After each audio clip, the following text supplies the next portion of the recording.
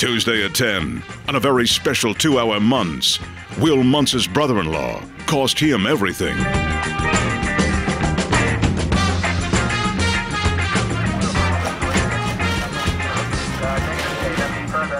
If you weren't my dead wife's brother, don't you have any conscience at all? You're in town a week and you've ripped off everyone at my precinct. I didn't rip anyone off. I talked them into giving me their life savings in exchange for shares of my new corporation. But you don't have a corporation. Of course not. I couldn't afford one until those cops gave me all the money.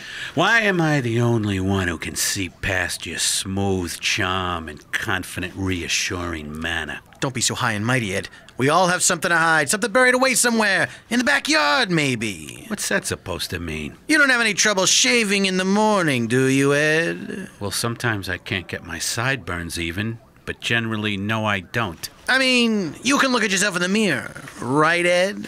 What are you getting at, Clay? Take a good look, Ed. I'm your mirror. No, you're not. You can't fool me.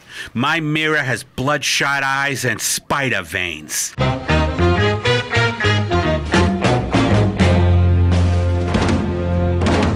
Tuesday at 10, on a very special two hour Muntz, Detective Eddie Muntz finds there's a thin line between evil and eviler.